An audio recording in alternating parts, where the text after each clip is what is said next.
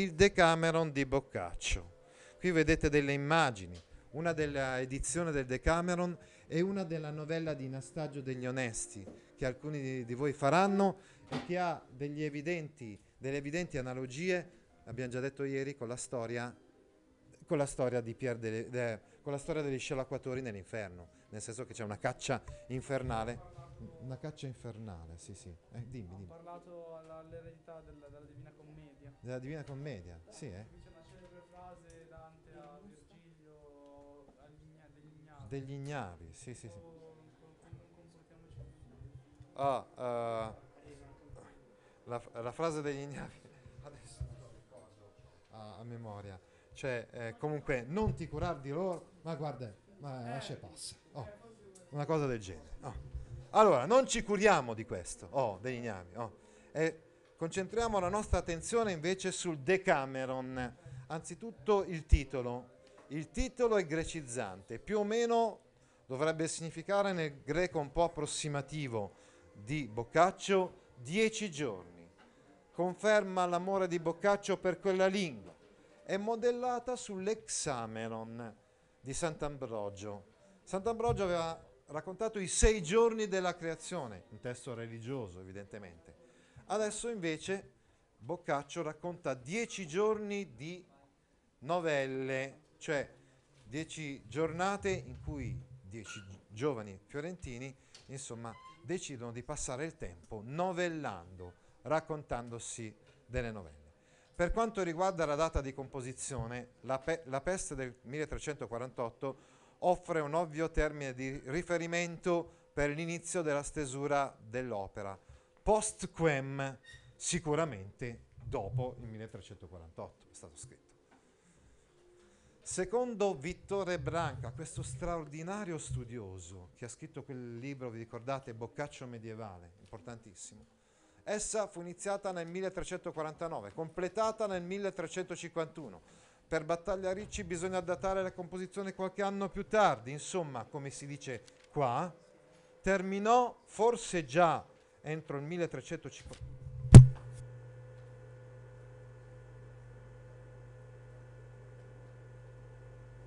Terminò di scrivere Decameron forse già entro il 1351, ma secondo altri fino anche al 1353.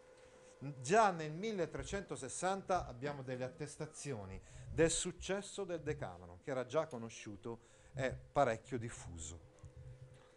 Ehm, la cornice. Ecco, il Decameron è una- un libro molto particolare perché abbiamo un proemio, un'introduzione, insomma, in cui parla il nostro poeta, parla Boccaccio, che se vogliamo è quindi il narratore di primo grado, e gli racconta di una storia di dieci giovani che appunto durante la peste fiorentina, la peste nera del 1348, avevano deciso di recarsi nel contado per passare in modo onorevole quel tempo della peste. E quindi sono questi poi narratori di secondo grado che raccontano le novelle, mentre il narratore di primo grado è Boccaccio stesso. Questo non basta, perché troveremo addirittura delle novelle in cui i personaggi racconteranno a loro volta e quindi è tutto un intercalarsi di narrazioni che si intrecciano l'una con l'altra. Allora, dicevamo, Decameron raccolta di 100 novelle che racconta come durante la peste che nel 1348 devasta Firenze, una brigata di sette fanciulle e tre giovani, attenzione, abbiamo detto attenzione particolare alle donne, prevalenza delle donne rispetto agli uomini nel Decameron, anche semplicemente per il fatto che sono sette le donne e tre gli uomini in questa allegra brigata. Di nobile condizione sociale, per favore, metti via, metti via, subito! Ecco, sei un ragazzo che quando ti si dice una cosa non la fai subito, devi farla subito, perché questo crea automaticamente la possibilità di una nota sul registro. Nel momento in cui vi si richiama e voi non ehm, cambiate subito atteggiamento, è chiaro che questo potrebbe causare immediatamente una nota sul registro. Bene, allora stavamo dicendo, sono nobili, sono gentili, rap- sono emblematici di quelle virtù cortesi, della cortesia, della gentilezza che albergavano a Firenze nel periodo precedente. Adesso un pochettino sono state dimenticate, ahimè. Allora, questa brigata cerca scampo dalla malattia, dalla distruzione di ogni corretto vivere civile, la degradazione morale che viene, eh, emerge soprattutto nel momento della peste, ritirandosi in una villa in campagna. Come passatempo i giovani raccontano delle novelle, ogni giorno viene letto un re che decide il tema della giornata. Vediamo alcune cose importanti da dire sul Decameron con questa mappa concettuale. Cosa fanno i personaggi del Decameron?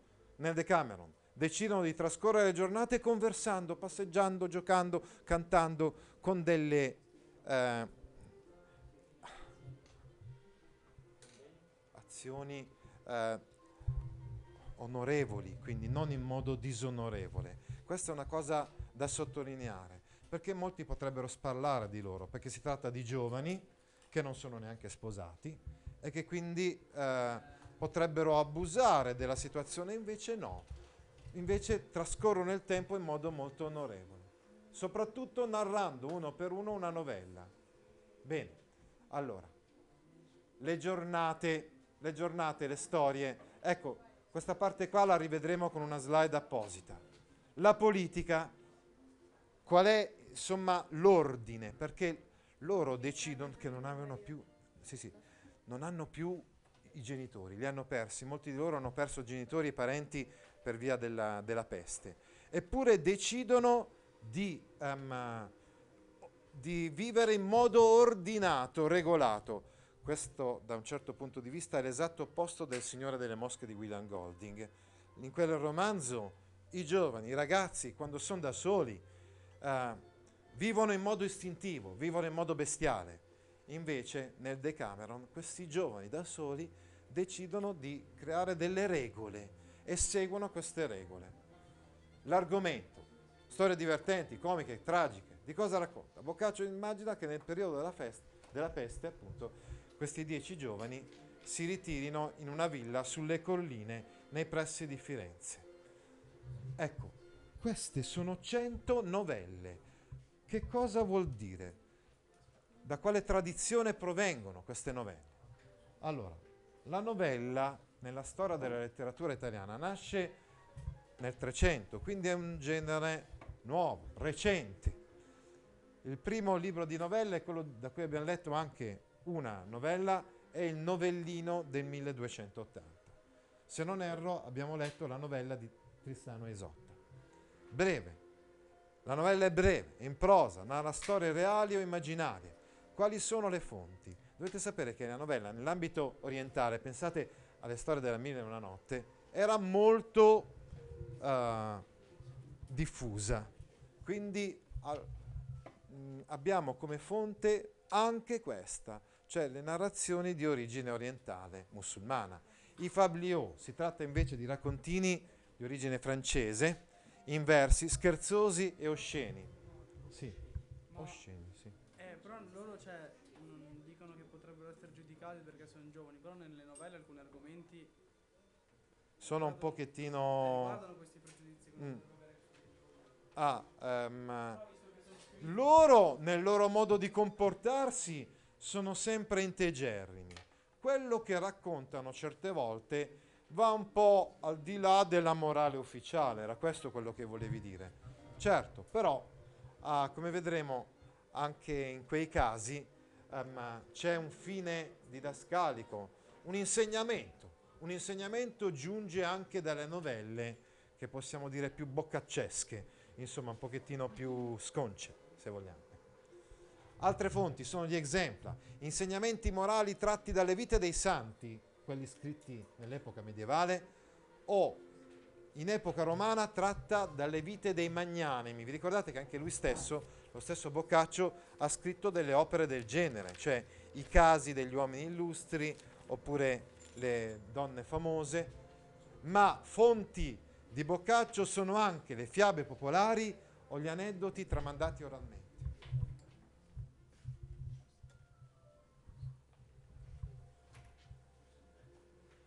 La genesi dell'opera, l'abbiamo già detto, è stata scritta più o meno negli anni fra il 48 e il 53. Vi mise mano più volte anche in seguito, ma solo per rimaneggiarle. Diciamo che la sostanza ormai c'era tutta quanta, al massimo nel 1353.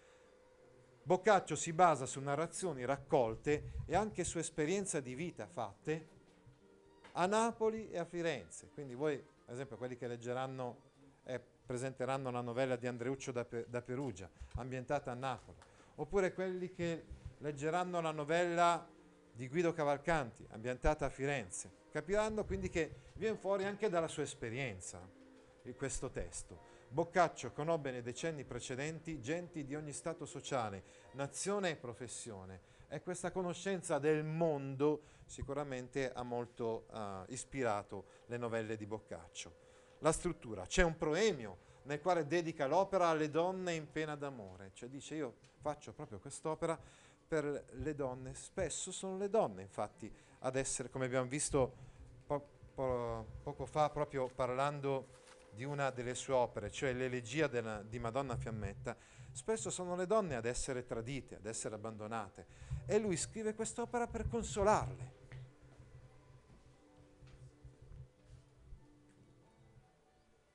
Una cornice poi che racconta della peste a Firenze e di questi dieci ragazzi che si riuniscono. Infine le dieci giornate, dieci novelle per ogni giornata, quindi in totale cento novelle. Bene, come vedete, come abbiamo spiegato, c'è una specie di eh, scatola mh, di matriosca o scatola cinese, no? per cui eh, i narratori eh, si intrecciano fra di loro. Sì? La matriosca russa, sì. Però ci sono delle scatole cinesi sono, in cui una rac- ra- racchiude un'altra. Eh? Una racchiude un'altra. È un po' la struttura, è un po' questa, no? perché nel proemio, quindi nella invenzione diciamo, del poeta, si racchiude la storia della cornice che viene raccontata dal poeta, ma poi i ragazzi della cornice raccontano le, dieci, le 100 novelle, 10 novelle al giorno. Sì. Sì, sì, sì. Allora, dicevamo della cornice, che non si trova solo all'inizio e alla fine del Decameron, ma compare all'inizio di ogni novella e all'inizio e al termine di ogni giornata. Serve al Boccaccio per prendere le distanze dal mondo delle novelle, farle raccontare dai diversi punti di vista dei ragazzi. Ecco, ovviamente il fatto mh, mm, che ci siano 100 novelle potrebbe rendere dispersiva l'opera di Boccaccio, il Decameron. Ebbene, la presenza di questa no- cornice dà unitarietà invece all'opera. Sì, sì, sì. sì. Ok.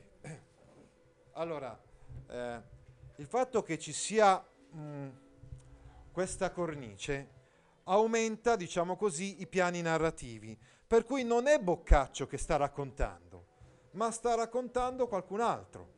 E questo potrebbe essere anche utile. Ad esempio, vi faccio un esempio molto concreto.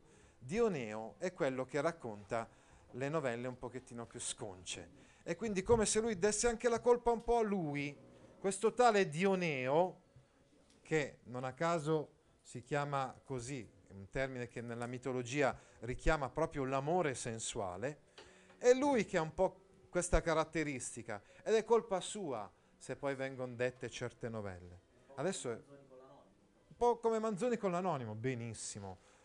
Adesso avete capito molto bene quindi cosa vuol dire prendere le distanze. Giusto. a raccontare 100 novelle da 100 punti di vista differenti. Giusto. Però è sempre lui. Certo, il problema è proprio questo, l'unità nella varietà. C'è molta varietà nel, nel Decameron, eppure c'è ovviamente qualcosa che poi riconduce ad un'unità. In ogni giornata però c'è posto per una novella di argomento libero. Uno dei tre giovani, Dioneo, può scegliere qualsiasi argomento per le novelle da raccontare. Dioneo è, un, è tra, i due, tra i tre giovani, quello un pochettino più bizzarro, e dice, va bene, d'accordo, io ci sto a raccontare le novelle, sto a tutte quante le, le regole che voi mi volete imporre, però mi dovete concedere, primo, di raccontare per ultimo, e quindi l'ultima novella di ogni giornata sarà raccontata da Dioneo. Secondo, mi dovete concedere il permesso di raccontare di quello che voglio io, liberamente, e di non seguire per forza il tema imposto dal re o dalla regina del giorno. Due giorni della settimana, il venerdì e il sabato, qualcuna di Dioneo, la uh, Griselda, la, l'ultima novella, sì, quella che leggerò io, quella che spiegherò io, è una delle novelle uh, raccontate da, da, da, Dioneo. L'ultimissima, mh, mm, in realtà no, mh, mm, non è sconcia quasi per niente, quasi per niente, perché in realtà eh, la nostra Griselda fa una allusione erotica piuttosto pesante alla, a suo marito. Però ecco, eh, eventualmente sappiate che potremo anche leggere, raccontare o sintetizzare, il professore potrà anche raccontare altre novelle oltre a quelle che ci sono sul, sul vostro libro. Stavo dicendo, come? come? Quella di Dioneo. Ok, attenzione. Il fatto che dieci giorni siano occupati dalle novelle, non vuol dire che loro sono stati dieci giorni nella villa. In realtà nella villa ci sono stati due settimane. Questo perché il venerdì e sabato la narrazione viene sospesa per motivi religiosi. Durante il venerdì, giornata in cui si ricorda la morte di Cristo, non si può passare giorno novellando. Il soggiorno infatti dura 15 giorni, da un mercoledì a un altro, ma le giornate di narrazione sono 10. Inoltre due giornate, la prima e la nona, non sono vincolate ad un tema. Adesso approfondiamo il discorso.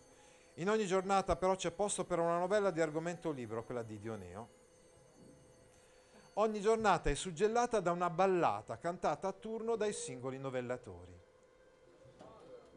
Ecco, questa è un altro, un'altra mappa concettuale sul Decameron. Il proemio è Boccaccio che racconta parla in prima persona, dice di voler divertire le donne che hanno nobiltà d'animo e soffrono, e soffrono d'amore. Insomma, il Decameron è dedicato alle donne. Poi c'è la cornice e le novelle che hanno una struttura aritmetica. Si ripete più e più volte il numero 10 come simbologia della simmetria e proporzione medievale. Ogni novella è introdotta da una rubrica, noi diremmo un abstract, una sorta di riassuntino, che presenta la vicenda in sintesi. Ogni giornata ha un'introduzione e una conclusione. La conclusione contiene una ballata e le riflessioni dei giovani. Ecco, uh, oltre al proemio, è importante la conclusione finale che Boccaccio usa per difendersi dalle accuse di immoralità. Quali sono i protagonisti e i temi di queste, di queste novelle? Ecco, per esempio, nelle novelle troviamo molto spesso il mercante che fa del denaro la propria ragione di vita, oppure preti, chierici, ecclesiastici. È chiaro che in questo caso abbiamo una polemica anticlericale, soprattutto una polemica contro quelli che mm, sono preti, dovrebbero essere religiosi e invece dedicano la loro vita a tutt'altro.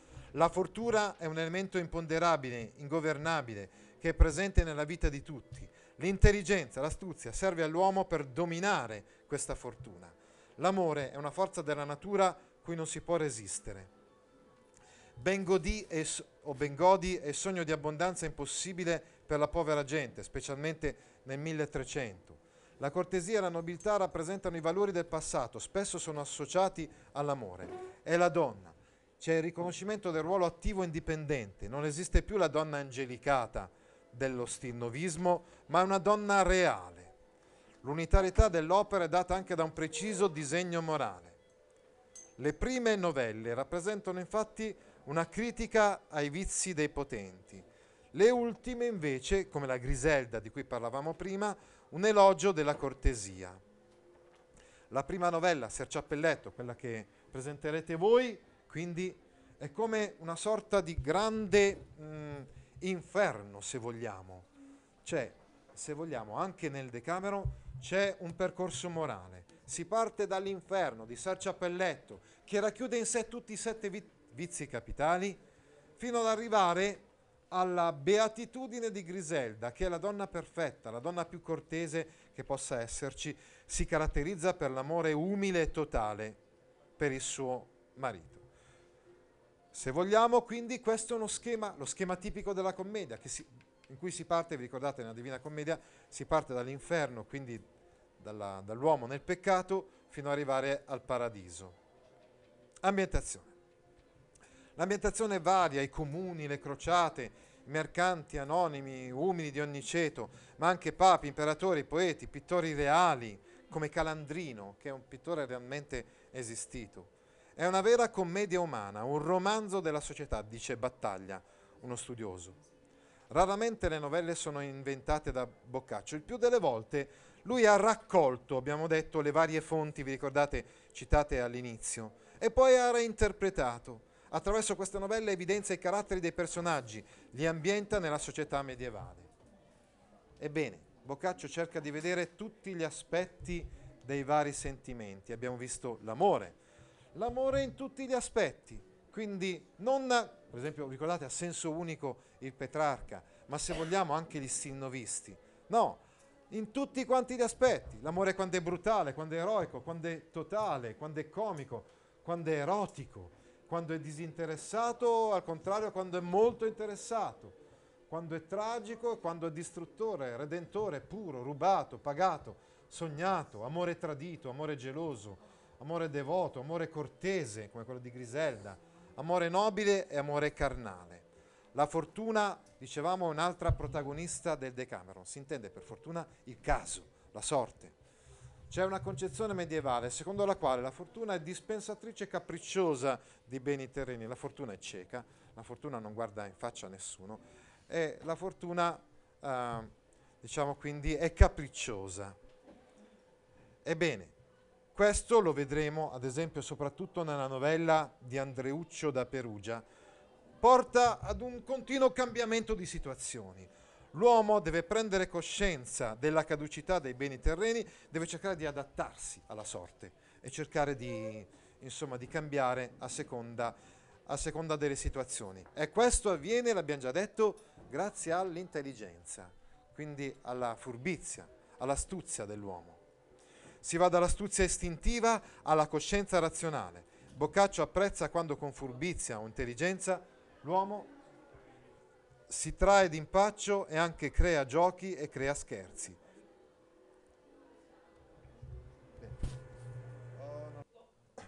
Allora, stavamo dicendo quindi dell'intelligenza, si va dall'astuzia istintiva alla coscienza razionale. Boccaccio apprezza quando con furbizia o intelligenza L'uomo si trae d'impaccio e anche crea giochi e scherzi. Come vedremo ci saranno giornate intere dedicate al, ai motti di, di ingegno e ci saranno giornate intere dedicate alle beffe, quindi agli scherzi. Ci sono, quindi, ah, ci sono anche le vittime, quindi ci sono anche gli sciocchi, no? Dicevamo che ci sono anche le vittime, ci sono gli sciocchi. Dal momento che l'intelligenza è una delle tematiche principali presenti all'interno del Decameron, è chiaro che ci sono anche le persone come Calandrino, di cui voi leggerete la novella, che invece sono prive di questa intelligenza e quindi cadono nei tranelli. E allora è giusto che gli amici, come dire, facciano degli scherzi a Calandrino, anche se certe volte sono de- degli scherzi piuttosto crudeli, perfino violenti. Perché? Perché Calandrino ha meritato questo perché non ha usato l'intelligenza che è caratteristica dell'uomo. Ecco, a proposito degli studiosi che leggono il Decameron e che studiano il Decameron, ci sono due correnti di pensiero. La prima corrente di pensiero ritiene il Decameron un'opera che rompe con la tradizione medievale e inizia il Rinascimento, l'umanesimo del Rinascimento e quindi secondo questa corrente Dante era medievale perché in lui prevale il soprannaturale, il divino, eccetera. In Boccaccio invece, che secondo loro è umanista, preumanista, eccetera, l'uomo è calato nella sua ter- realtà terrena ed artefice delle sue sorti. La seconda corrente di pensiero, invece, ritiene che ci siano stretti rapporti con la tradizione, la letteratura, le fonti e le idee del Medioevo in Boccaccio i valori etici e cristiani medievali, per esempio anche il concetto di fortuna, come abbiamo spiegato, eh, sono tipici, volevamo dire, di questo periodo medievale. Questa teoria è più recente, è frutto degli ultimi studi. Allora, secondo voi, noi dobbiamo seguire una teoria più uh, remota, che appartiene a studiosi che hanno uh, scritto opere in precedenza, o dobbiamo seguire gli ultimi studi? Oh, co- oh benissimo. In conclusione, bravissimo. In conclusione si può dire che Boccaccio rielabora gli insegnamenti medievali riportandoli senz'altro sulla realtà terrena, ma come ha detto Vittore Branca risulta essere uno, uno, studio, uno scrittore medievale. Gli aspetti medievali sono la struttura della cornice del, dell'opera, la simbologia numerica, il numero 10, le fonti letterarie. Gli aspetti umanistico-rinascimentali sono l'interesse per la realtà, per la vita sociale, l'esaltazione di virtù laiche come l'intelligenza e la furbizia, l'amore è considerato naturale e non peccaminoso. Nel romanzo, scusate, volevo dire, nella, nella raccolta di novelle di Boccaccio, è molto presente la società mercantile. Ricordate che lui era figlio mm, di un borghese, di un, di un mercante, eh, aveva lavorato per il banco, quindi per dei banchieri Boccaccio vive nel periodo di piena ripresa dei commerci. La sua, ro- la sua opera è un'epopea delle virtù del mercante, delle virtù pratiche, concrete del mercante. Eh, quindi dice- dicevamo, Dante, è, è, scusate, il Decameron, e qui c'è un errore di stampa, eh, il Decameron è l'opera che meglio interpreta la borghesia mercantile e il suo attivismo il, il nuovo eroe Andreuccio da Perugia è eh, il mercante che affronta le difficoltà, ne esce con intelligenza e furbizia e quindi all'inizio ingenuo, Andreuccio da Perugia, ma attraverso questo percorso di formazione che è dato dalla realtà de- dell'esperienza diventerà furbo e astuto. La nobiltà è presente anche, anch'essa, l'aristocrazia feudale è una classe in, de- in declino nel Trecento l'ideale cavalleresco impersonato da eroi del passato. C'è però una nuova aristocrazia, quella dell'animo, dei valori cortesi, della gentilezza e della generosità, per cui persino i borghesi si impossessano dei valori che erano tipici della nobiltà dell'aristocrazia nel periodo precedente e ne fanno oh, una caratteristica loro tipica, peculiare. Possiamo trovare persino cortesia e gentilezza anche nella gente più umile, quindi nelle classi sociali più umili, perché questa novità si può trovare in tutti quanti i ceti. Attenzione, approfondiamo il discorso sulla religione. Certamente c'è una forte critica al mondo ecclesiastico che specula sull'ignoranza del, del popolo. In particolar modo pensiamo a frate Cipolla che riesce ad estorcere i denari dai fedeli con delle reliquie false. Ma ce ne sono tantissimi altri, insomma, in questa, in questa raccolta di, di, novelle. Però c'è rispetto per, per la, la, religione. La religione viene rispettata. Abbiamo detto quindi che Boccaccio, che poi diventerà addirittura chierico, rispetta la religione. Certo, non c'è più la trascendenza dantesca della Divina Commedia. Deridere il mondo ecclesiastico comunque non vuol dire non rispettare la religione, ma solo riportarla in terra, quindi fare un discorso piuttosto pratico di critica al modo di vivere concreto, semmai, degli ecclesiastici. Questi sono i tre livelli della narrazione del Decameron che abbiamo già comunque richiamato. Ecco, i eh, novellatori sono dei giovani che hanno nomi parlanti. Pampinea, per esempio, la donna che proprio, che fa la proposta insomma, di andare nel contado e che prende le redini della situazione, ehm, deriva il suo nome dai Pampini eh, dell'uva. Uh, poi c'è Filomena, uh, Neifile. Neifile è una nuova innamorata, eh, quindi rappresenta pro- probabilmente una donna che ha cambiato, ha cambiato compagno. Filostrato è abbattuto d'amore, l'abbiamo già trovato in certe opere di Boccaccio, Fiammetta l'abbiamo incontrata più e più volte questo nome nelle opere di Boccaccio, Elissa invece richiama Didone quindi una donna tradita, come Didone è stata tradita da Enea. Dioneo invece, dicevamo, richiama l'amore sens- sensuale perché Venere è figlia di Dione. Lauretta, e invece Lauretta ci fa venire in mente Petrarca, ed Emilia, questi sono i nomi parlanti dei novellatori. L'ultimo, Panfilo, è un nome che più o meno nel greco approssimativo di, di Boccaccio significherebbe tutto amore, tutto caratterizzato dall'amore. Come si vede, anche i nomi dei dieci novellatori sono scelti con cura, anche in relazione alla loro etimologia allora e al loro significato. Talora si richiamano alle opere precedenti dello stesso Boccaccio, ad esempio abbiamo già visto più e più volte nomi come Filostrato, Panfilo e soprattutto Fiammetta comparire nelle opere precedenti di Boccaccio. Le dieci giornate. La prima regina, la regina della prima giornata è Pampinia, che chiede di novellare su tema libero. La seconda Filomena chiede di novellare, di raccontare storie in cui dopo varie peripezie si arriva ad un lieto fine, come, proprio come l'Andreuccio da Perugia che dovete leggere voi. Poi c'è Neifile, che chiede di raccontare storie in cui una cosa tanto desiderata viene acquistata o recuperata. E spesso questa cosa tanto desiderata è anche, ehm, ad esempio, la donna o l'amore in generale. Filostrato, al contrario, chiede di raccontare di storie d'amore finite male. E qui noi leggeremo alcune delle novelle eh, della quarta giornata. Um, per esempio Elisabetta da Messina è una novella eh, della quarta giornata, in cui si racconta di un amore eh, infelice. Poi nella quinta giornata Fiammetta chiede di raccontare storie di amanti che, superati una serie di ostacoli, si ricongiungono. È il caso di Nastagio degli Onesti e di Federico degli Alberidi. Ah, leggeremo anche Tancredi di Smonda, che è un'altra storia infelice. Eh? Poi, Elissa chiede di raccontare storie di persone che con una buona risposta sono sfuggite a un pericolo. E qui leggerete parecchie storie, quella di Cisti Fornaio, di Chicchi Bio Lagru e di Guido Cavalcanti. Dioneo alla settima giornata chiede di raccontare storie di donne che beffano mariti ed amanti a loro insaputa. Lauretta nell'ottava, storia di beffe reciproche tra uomo e donna.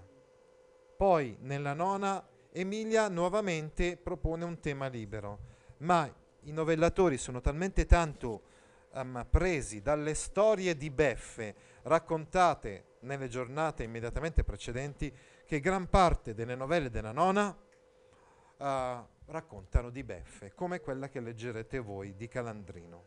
E infine nell'ultima do- giornata Panfilo eh, propone di novellare sul tema libero, sull'amore o su altro, e qui troveremo l'ultima novella, leggeremo insieme insomma l'ultima novella del Decameron, La Griselda. Possiamo individuare dei legami fra i temi delle giornate. Per esempio, il tema libero compare sia nella prima sia nella nona giornata. Oppure sono molto collegate fra di loro la seconda e la terza giornata, perché nella seconda si pone a tema la fortuna, il caso, no? Però già nella seconda vediamo, ah, proprio, per esempio ricordate Andreuccio da Perugia, come riuscendo ad affrontare bene la, la sorte si riesce ad ottenere qualcosa ed è questo il tema principale della terza giornata cioè come attraverso l'industria, cioè attraverso eh, l'intelligenza, l'operosità, eccetera, una persona riesce ad ottenere ciò che desidera, ciò che desidera molto. Gli amori infelici della quarta giornata sono strettamente legati per contrasto questa volta con gli amori felici della giornata seguente, la quinta. I motti invece sono strettamente legati alle beffe. Insomma, è quando una persona riesce con l'astuzia, con l'intelligenza a, a ottenere qualcosa, o attraverso un motto, quindi attraverso una battuta, oppure facendo uno scherzo a qualcun altro. Bene. Eh,